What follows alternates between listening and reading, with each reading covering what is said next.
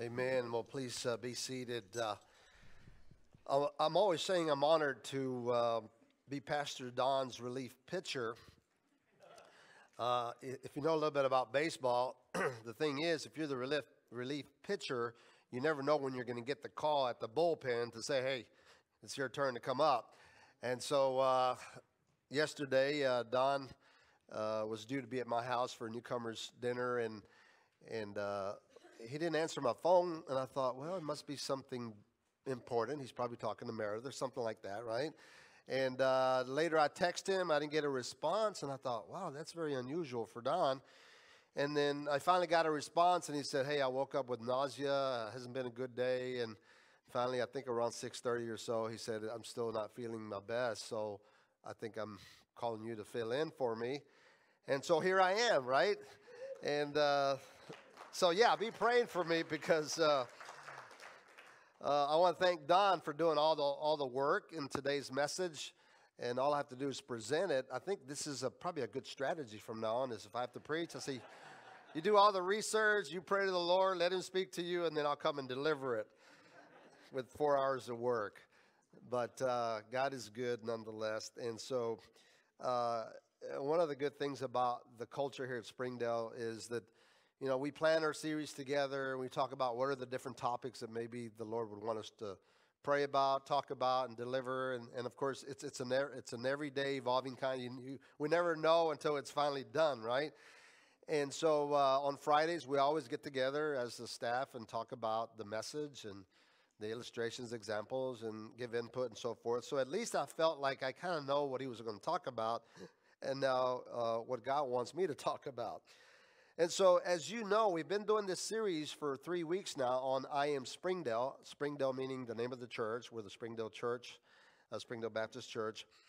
But the phrase I am Springdale, uh, it was at that staff meeting that, yes, I, I told Don, it's like the bottom line is we are the church and we have to finally disconnect from the idea that, well, let's just get people to the church. Listen, I am the church. You are the church. And if all we do is bring people to the church building, it's going to take a long time before some people show up because they already have this perception about who the church is, and, it's not pretty. But if we begin to believe that we are the church and start thinking like it and acting like it, we will begin to change their perception of who we are as a church. And long before they ever arrive here, the questions will arise about why do you do this and why do you say that? And so let me summarize for you where we've been the last three weeks. We started out by saying, okay, if I'm going to be Springdale outside these church walls, I have to learn how to listen to God. Now, why would we call it a personal relationship with God if we never personally relate to God? Isn't that kind of a contradiction? And so, if I call it a personal relationship with God, it's because I personally connect with God. I actually have the privilege to hear Him speak to me. Is that true for you? Because God has made it such that He's torn down the curtain wall, the, the, the thing that kind of separated, you know, the, okay, this is the clergy and here's the lady, the laity. It's like God wants everybody to have access to Him. And so if I'm not learning how to listen to His voice, I'm in trouble because I will never really discover the depth of His love for me. Oh, I understand it for, for Don, and I understand it for so and so, but what about me? Well, it's available to you. And therefore, I have to learn how to spend time with Him, how to be with Him, how to cultivate my personal intimacy with Him. And there are different ways to do that. And you can read God's Word, you can hear God's Word, you can meditate, you can spend time in silence, you can spend time in solitude by yourself, you can journal, you can fast. There are so many ways to connect with God. And if we just give him the freedom to say, okay, God, here I am, speak to me, then maybe, maybe we may actually just hear him speak to us. Why? Because we have turned off the radio, because we've turned off the TV. And so there's nothing to compete with. And God has our full and undivided attention. And so he begins to speak to us. And then we realize that we enjoy him. Then we realize that my motivations for him deepen, that my convictions for him get anchored and solidified. You see, it's called listening to Him. But listening to Him is not enough. Also, I have to learn how to align with Him. What we mean by there is realizing that because God calls me a son or a daughter of Himself as the Father, that He wants to give me a new identity where I begin to believe who He says I am despite my past. Despite my titles at work, despite my uh, achievements that are on the wall, despite the education that I've achieved, God says that's, that's not who you are. And I want to empower you to be who you really are as my disciple of Jesus. And this is so much bigger than filling your head with knowledge. This is so much more impacting than changing your moral behavior. This is about allowing my presence to actually fill your heart. And when he begins to fill your heart, then you begin to understand that if he can work in me, he can then work through me. Oh, that is so far different than just doing church.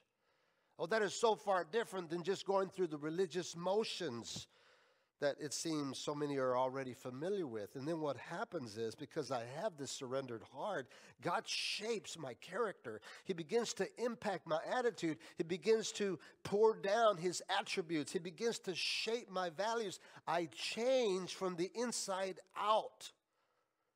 It is a work of God, it's not me doing anything, it's God being in me and changing me.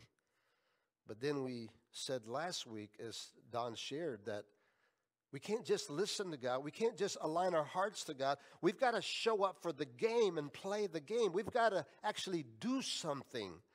Because as God is growing me and shaping me and maturing me, then the God honoring behavior begins to flow out. What has been happening on the inside begins to now become a reality on the outside, and it is evident that something is going on. Because then people begin to see the demonstration of God's power in my life now made known. And so I don't debate God. I don't question God. I simply submit and say, Lord, what is it you want me to do? Here I am responding in obedience. And then people say, wow, it is obvious that you are a different person. You see, what I do now shows what God cares about. What I do now shows what God values. What I do now shows what God is passionate about. What I do is what God said be done. You see, God wasn't kidding when He said, Seek first my kingdom and His righteousness, and they become mine.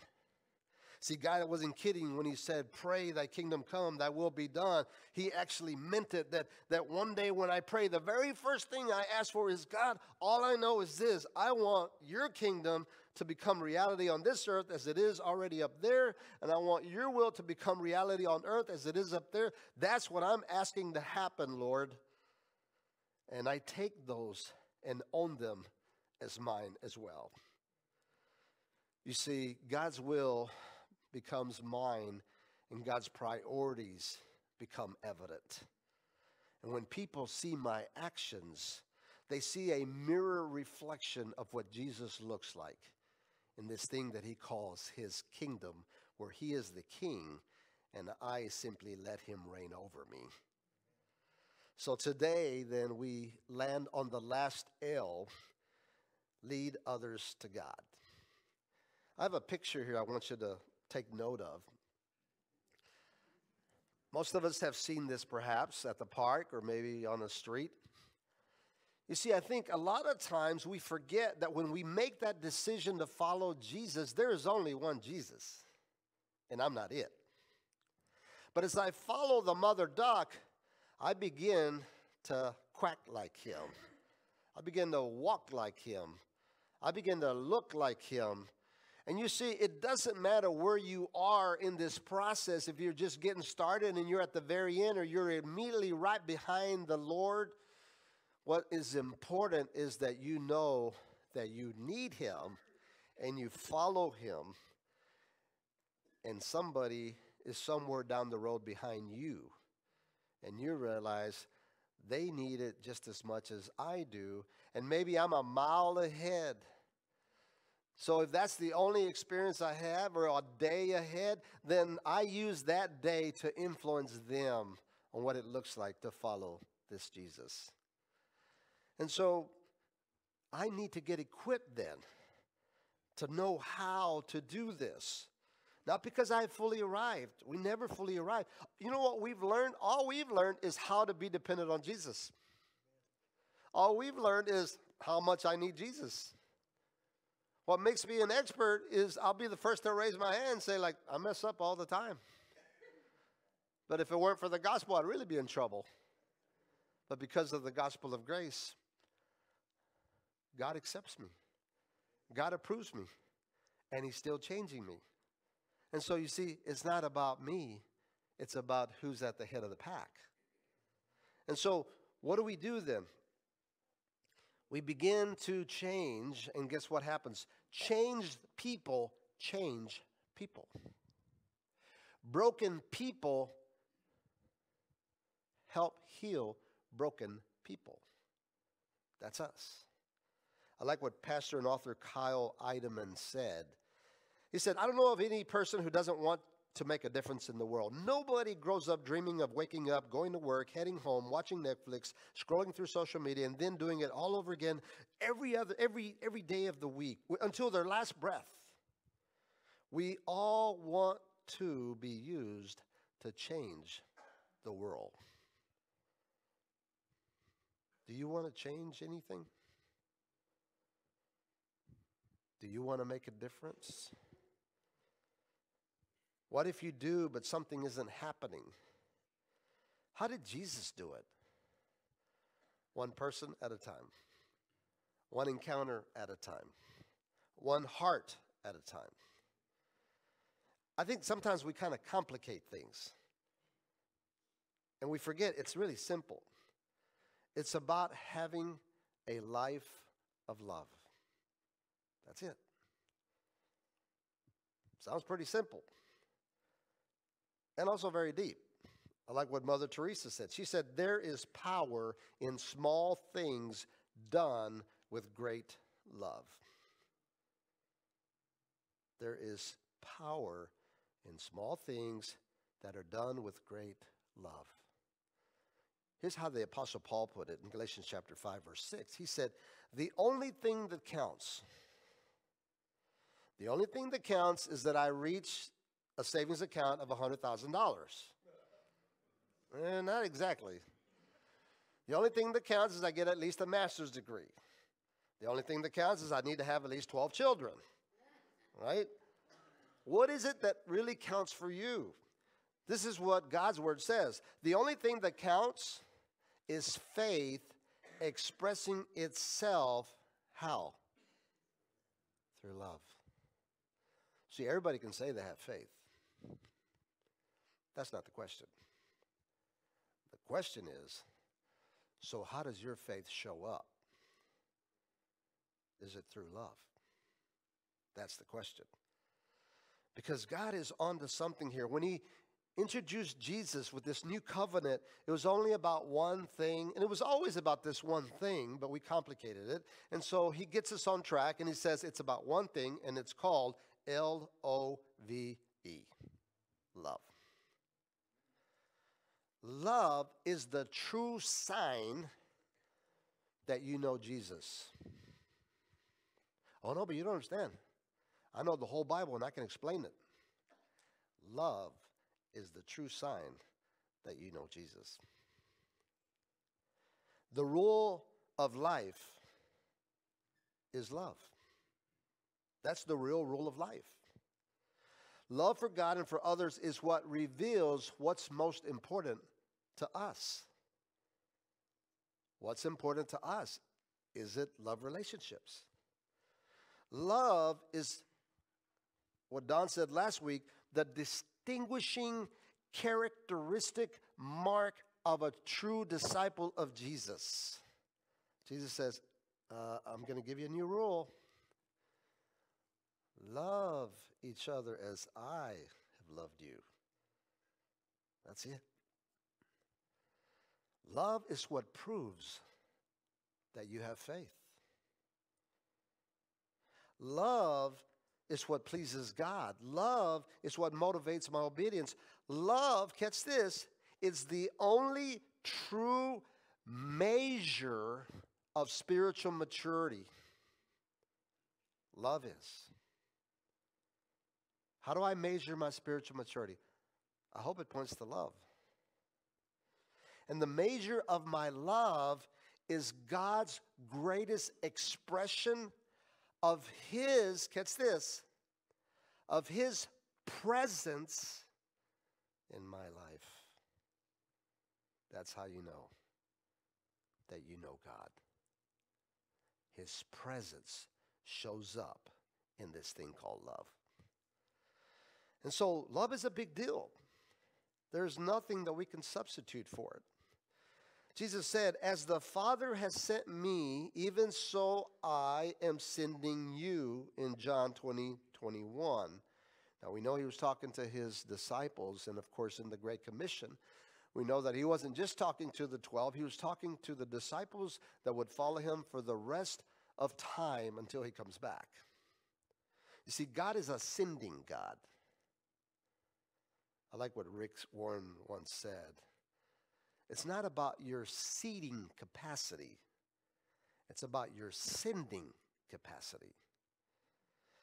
Jesus was the best that God could send. And in the Bible, we discover this word sent 44 times in the New Testament. After Jesus resurrects, he passes his identity to his disciples and he says to them, Follow me. You see, to follow Jesus is to understand that we're being sent. Oh, wait, wait, wait, wait a second.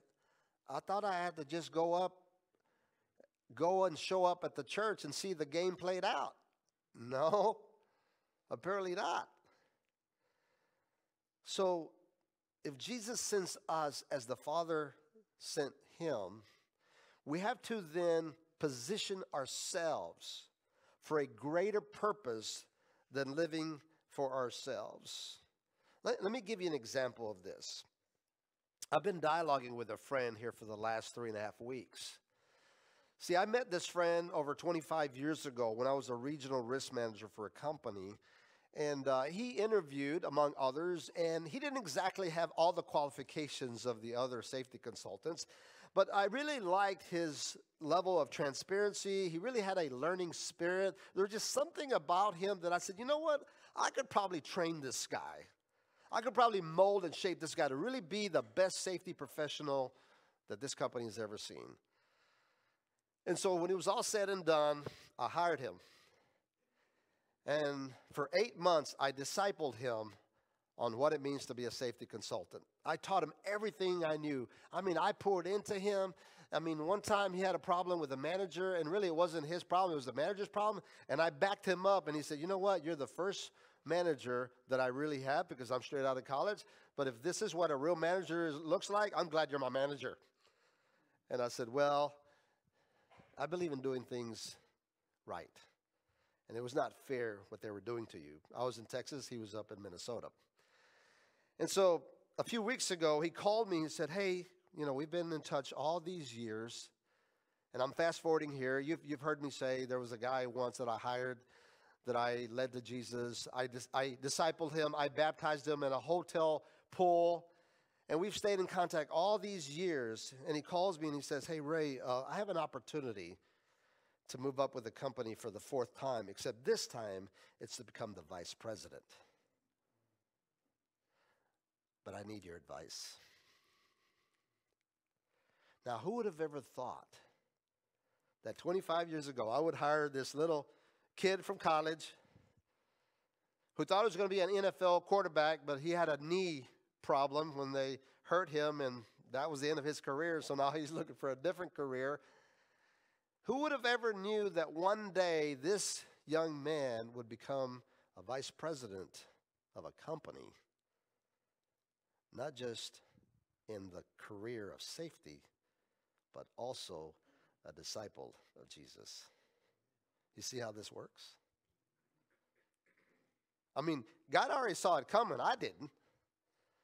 And so over the years, we've maintained contact. He'll call me for prayer. He'll call me for advice. Hey, this promotion, okay, I'll pray for you.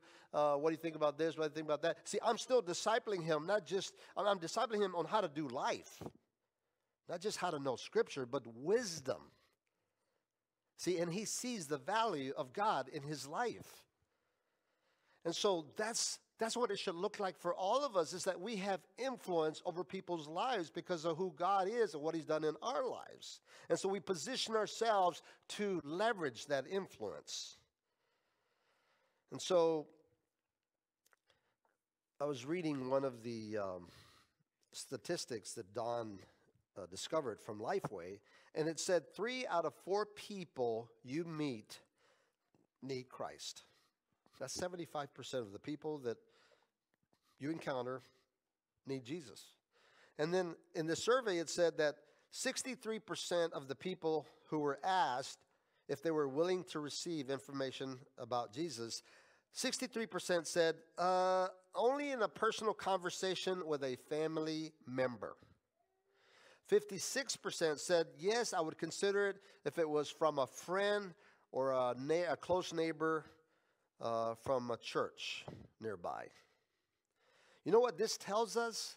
This tells us that programs don't lead people to Jesus. People lead people to Jesus. Are we Jesus people? Because that's what Jesus is saying in Matthew chapter 4 19. He said, Follow me, and I will make you fishers of men. There are three things in the uh, discipleship journey that we talk about in his ways. And the first one is that, okay, we need to understand that if I say I'm going to follow Jesus, I am following a who, not a what. This is a person, this is a real person that I'm learning to pursue and follow. Secondly, that I understand, he says, I will make. In other words, the implication is that he's going to do something with me, that he's going to change me, and I have to be willing to be changed. That's a hard one to swallow. Because there's a whole lot of people going to church, but they never change.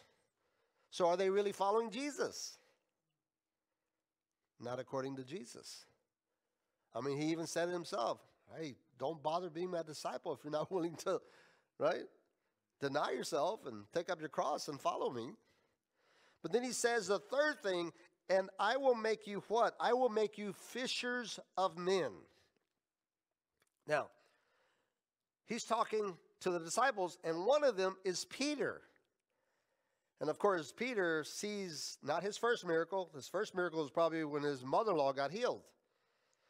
And now we have Jesus calling on the fish to one side of the boat, and all the boats are overflowing from the weight of the fish. And then it's when he, it hit him, and he said, Jesus, you need to get away from me because I don't think you know me. I'm a sinner. And what was Jesus' response? I'm going to turn you into a fisher of men. Apparently, God has a game plan for us that is beyond maybe what we considered. And so, Jesus is telling us follow him, allow him to change us, allow him to give us a purpose in allowing others to also trust and follow him. So, what keeps us from following through in leading others to Jesus? Let me give you a few reasons. Because the enemy knows God's game and he's going to try to thwart it. And the first one is Have you ever felt unqualified? Eh, I don't really know too much about the Bible. I mean, I don't even use the King James, right? I mean, I have to use the simple version. It's a paraphrase. I don't, even, I don't even think that counts.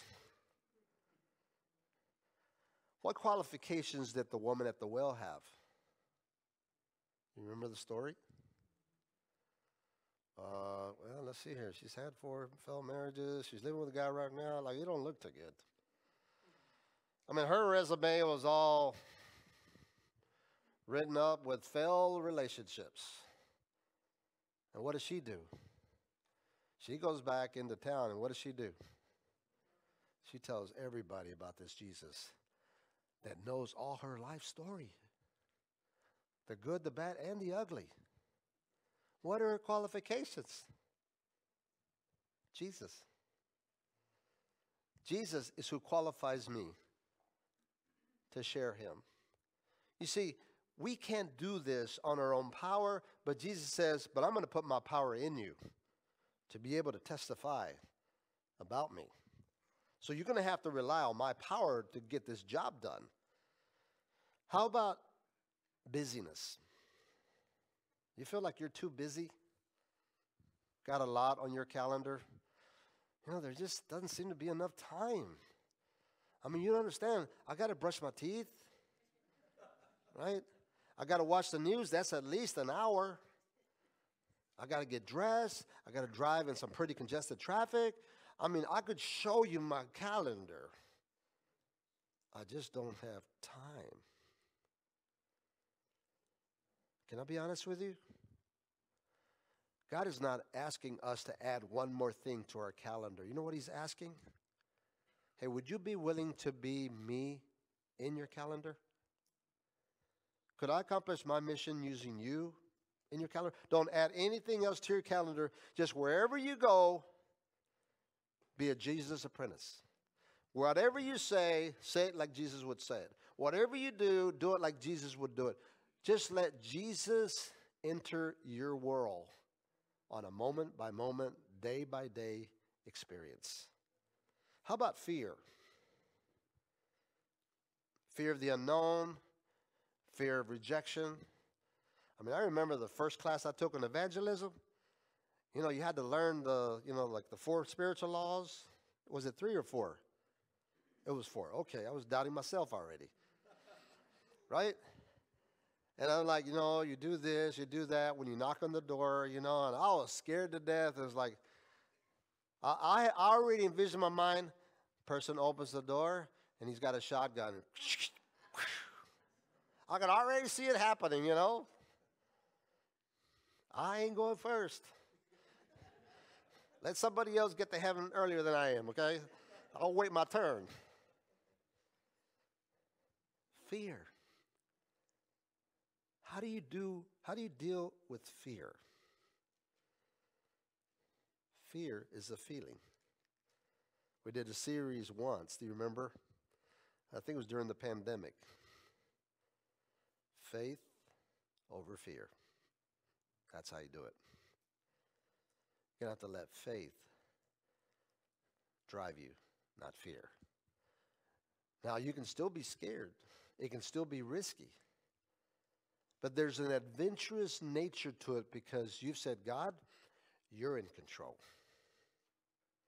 I'm not in control. You take the lead. I'm just doing whatever you tell me to do and say whatever you ask me to say. You'll even give me the words. I'm trusting you. Next thing you know is like, I think I can do this. Oh, oh I'm sorry, Lord. I think you can do this through me. You see? How about this one? Complacency, indifference, or apathy. Those are big words. Just put it in neutral. Don't say nothing, don't do nothing, don't ask, don't tell, you know, just play it safe. And you may not even care. I love this example from C.S. Lewis, the Screwtape, screw tape letters. Anybody read that particular? Yeah, it's a good book. It has a senior ranking devil, Screwtape, who's briefing his apprentice nephew, Wormwood, on the subtleties and techniques of tempting people. The goal, he counsels, is not wickedness but indifference. Screwtape cautions his nephew to keep the prospect, the patient, comfortable at all cost. And then this definite, definitive job description. He says, I, the devil, will always see to it that there are bad people. Your job, my dear Wormwood, is to provide me with the people who simply do not care. Wow, that's a strategy if I've heard one. Yeah, don't you don't have to make them wicked. Just make them complacent. Just make them full of apathy. Just make them indifferent. that gets the job, the job done just as well. And so we are in a spiritual war. It is really happening. But how about the last one? Do we have a last one on the on the screen? Because I was trying to summarize Don's thoughts, and of course, this is the best I could do. A mediocre Christian life. This is the one that the world is not happy about. You know, th- this is this is the person like, well, I mean, you know, like I'm not ready because I mean, after all, you know, I still got a lot of issues, right? I mean, I still like to do this. I can't really say it out loud. I still like to do that. I keep that under the cover, you know. And so, so there's like this double life going on. Yeah, yeah, yeah. I mean, I mean, I go to church. I mean, you know, I do tithe sometimes, you know, but I believe in offerings you know and, and you know I, I do I, you know i do believe in church you know and so i'm kind of yes sort of a christian but if you heard pastor don's message last week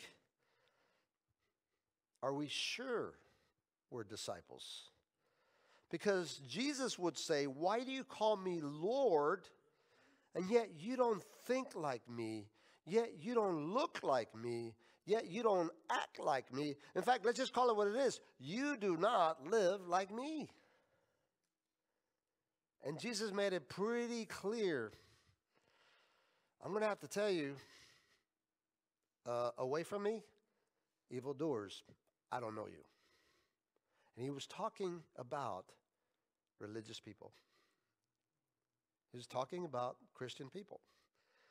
And so there has to be a genuine dimension to this following Jesus. Hebrews chapter 12, verse 1 reads Paul pleads with us to strip off anything that slows us down or holds us back. Satan is a liar, and he's going to say, Well, you can't possibly follow Jesus and still be happy. You're, it's just not doable. And so you got to do a little bit of both, you know, so that way you cover both bases. There's nothing more self fulfilling than saying to yourself, I did what Jesus asked me to do. I mean, can you imagine you get up to heaven and everybody's looking for Jerry Campbell? Where is Jerry Campbell? All I know is I want to find Jerry. I want to talk to Jerry Campbell. Everybody's like, well, who's Jerry Campbell? Like, you know, I don't, is that a, is that a prophet? Uh, who is that guy? Jerry, I just want to thank you for leading me to Jesus. Hey, Jerry, I want to thank you because you let my cousin, but my cousin led me, so I want to thank you because you started it all. You see, the only thing that's going to matter when we get to heaven is that somebody is going to say, I am thankful that so and so led me to Jesus. Because otherwise, I wouldn't be here. And that's all that matters. I would rather be here than the other place. Because at the other place, they don't have air conditioning. See, extraordinary people for God are simply ordinary people who are willing to say, Yes, God, use me. No special qualifications required. John chapter 5, verse 19 reads, I tell you the truth, the Son can do nothing by himself. He does only what he sees the Father doing. And so what we need to be asking is, God, where what are you doing? Where are you at work? Who are you drawing to yourself? Give me discernment to take note. You know, when, when Don shared the story about the Denny's, you know, it would have been nice if, if you know, if, if I had been the one that, you know, was the lead on that story, but it was my wife, and so I just submitted myself. You know, it seems like she becomes the hero more than me, and uh, so I'll just give her support. But there was something about Nellie talking to them the way she did it, where they felt comfortable. They don't speak the language. They're trying to order off the menu. And she just interacted with them. I could hear the whole conversation because I didn't get up from my seat, you know, because I feel like, Lord, I think you want me to sit down because I don't want to draw a crowd, right? no, I didn't say that. But as I'm sitting there, I'm just saying, Lord, if, if you're up to something here, then just let it happen. We come back to sit down, we're eating our food. When we're ready to leave, the young man gets up and he says, Ma'am, uh, excuse me, I am not trying to be disrespectful or anything, but could, could I give you a hug? I mean, I'm standing there like, hey, boy, like, this is my woman, okay? Like, crossing the line here. Like, no, no, no, no. It's, we're, you, she already told you, you know, she's a pastor's wife, so, I mean, don't take advantage, okay? Come on. I mean, what was I supposed to say? I just said, young man, no problem. She says, you know, she's like a she's like a mom. And you know, a lot of people talk to Nellie and they call her Mama Nellie. Because she has that that that that attitude that just nurtures people and they feel comfortable, they feel warmth, and they feel like I can talk to this person. But then he says, Hey, would you pray for me? Do you see how this started? And that's when I put it in gear. Like, oh yeah, you know, yeah, oh, yeah, we'll pray for you. Like, let me put on my robe, you know, and said, oh, of course, you know, how can we pray? What's what's going on? Mind you, we're in Denny's. We're in the middle of the floor, and there's people buying and you know ordering and all this. We just forgot about all that. And we prayed like right there in the middle of Denny's with everything else going on.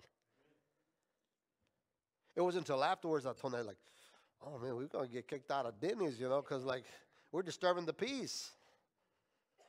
But you see, that's that's the whole point is we don't have to make nothing happen. We just have to open our eyes and see what is going on around us.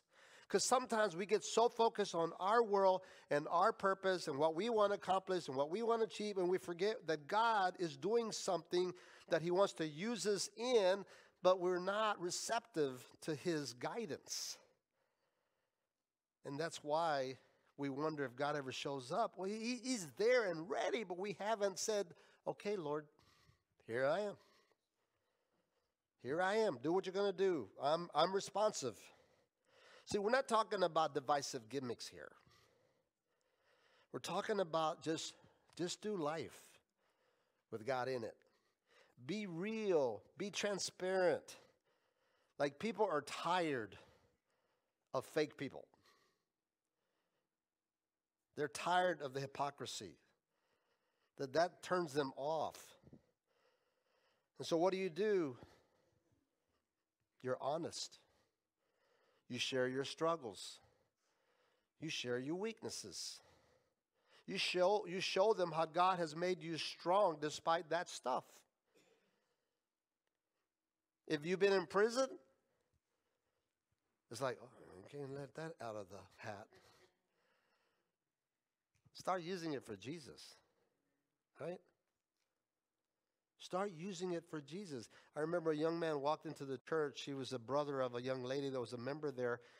And he wanted to talk to me. And he said, Hey, uh, you know, when I was in prison, you know, I found Jesus and I want to get connected to a church. And I wanted to see how do I do that and so forth. And so I didn't feel uncomfortable saying, like, well, so uh, what, what were you in prison for? Because, you know, we need to make sure that this is the right kind of church for you. Like, no, no, that was the last thing on my mind. He said, Well, you know, for New Year's, I was part of a gang, and I shot this pistol, and the bullet went up, and the bullet came down, and it hit a 10 year old kid and killed him. And so I went to the penitentiary for 10 years of my life because of that dumb, stupid mistake and the people I was hanging around with. I was like, man, I'm so sorry to hear that. He said, Oh, I'm not sorry. Because had I not gone to prison, I wouldn't have found Jesus. Ooh, wow, I wasn't expecting that one. So you see, it doesn't matter if you were the victim, if you were the victor, if you were, you know what really matters? How is God in on this one? That's what really matters. Because God will salvage any ugly story for his redemptive hand and it'll show him to be the true hero of your life. But you got to let people know. I was meeting with the pastor once. He said, like, oh, you know, nobody knows this, but, you know, I struggle with depression. I said, well, like, why do you keep that private? It's like, you know, I don't want to lose my job. I said, bro, like depression is, is, a, is a medical condition that, are you on medication? Like, yeah, I got I got to take medication. But, but you know, it does, doesn't solve it completely. I said, do you know how many people in the church suffer with depression? And, and you know, you could identify with them and you could empathize with them. You could share that. In fact, remember, there might be somebody who's come to the church to visit, and because you sharing that, they come to Jesus. In fact, you don't have to wait to go to the church to share it. Just share it as you meet people and discover that, hey, you know, they're going through a hard time for whatever reason. You realize, hey, I went through that too.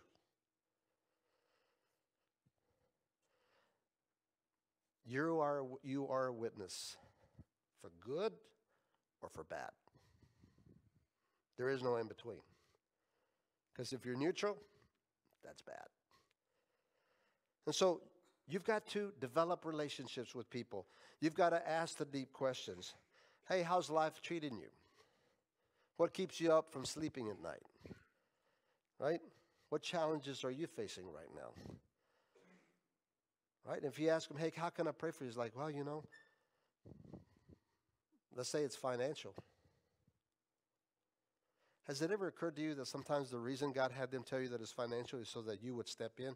Oh, well, you know what? Oh, I'm really sorry here. You know, I'm going to call Pastor Don. Maybe the church can do something. Time out. Okay, aren't you the church? Aren't you part of the church? Like, there any chance that God might be telling you to help from what you can help? Yes. They're not, they're not they're not going to go to the church necessarily, but if they're your friend and you see the need and you're receptive to it and you feel with them and you hurt with them and say, hey, look, man, all I got on me right now is $25, but here. That's when people begin to see Jesus differently. That's when they begin to see that Jesus can and does make a difference because we are the living example. That's when people really get drawn to God because they see that maybe we are the closest thing to Jesus that they know. And guess what? You are. But you've got to activate it. You've got to use their transition, use their crisis as a bridge to help them, to speak truth for them, to encourage them, to support them, to pray for them, to be their real friend. I like what Bob Roberts said. I think Pastor Don used this quote, and it's worth repeating. Great worship services don't change the world. Empowered, impassioned disciples change the world. Do you agree with that? You change the world. How? Well, we've been talking about this whole series. Start listening to God. If you don't know how, start learning how. Ask somebody, hey, how can I Help me how to listen to God's voice. Start aligning your heart. Look, God doesn't want to do you to do anything for him before he works in you. He will meet you where you're at. Because he wants whatever hap- is happening inside here be an expression out here. He doesn't like people going through the motions. He'd rather have somebody do absolutely nothing but be fully surrendered to God in saying, God, I need you, show me, teach me, fill me. Because I know one day I could probably be used by you, but right now, I need some help. But then what if we've done the first two? Then start living it out. You don't need to know a whole lot about the Bible. You just need to understand that God loves you and God love works in and through you. I mean, isn't it coincidental that the Bible says there is no law against such things as love, joy, peace, patience, kindness, good goodness, faithfulness, self-control? Like you can do amazing, dramatic, radical things if you start letting the Spirit produce that in your life as you interact with other people. Because instead of being impatient, you're patient with them. That's powerful. Because ins- instead of retaliating and, and, and seeking revenge, no, you say, I'm going to forgive this person and I'm going to reconcile. You see, that is supernatural. Only God can do that. But when you do it, people take note. This is not the way the world does life. This is the way Jesus does life in us and through us.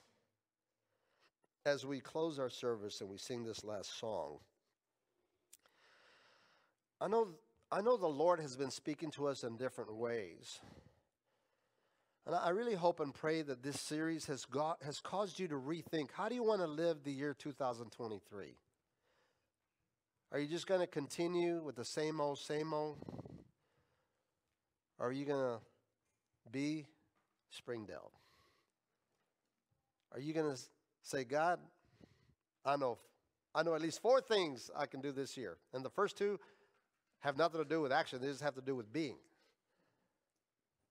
I want to learn how to be with you on my own time, privately. I want to I want to know how to let you change me from the inside out. I want to learn how to do that. And then, Lord, I want to start showing it. It doesn't matter if I got it, I'm at the at, right behind the, the mother duck. It just matters I'm in the line. I, I'm going in the right direction. I mean, I still stumble and I still veer off, but you know what? One thing is true I'm still following the leader. And so I don't have to have a perfect record. I just have to show I am faithful to Him even when I'm stumbling. He still forgiven me even when I did it again because did, it just makes me realize how much I need Him and I seek Him and I say, Lord, just develop me, even if it takes a hundred times. I'm still here saying, God, change me. I don't want this because this is not who I am. You don't take my behavior and say, that is who you are. No, you see me as the son or daughter of the living Father, the author of life, to whom one day we will respond. As we sing then, let God speak to your own heart. Whatever it is that you need to make right with Him, I'd say make your decision.